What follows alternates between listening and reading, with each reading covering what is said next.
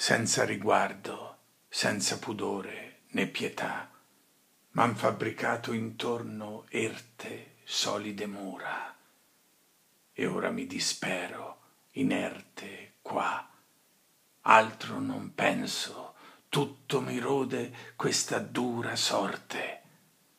Avevo da fare tante cose là fuori, ma quando fabbricavo come fui così assente.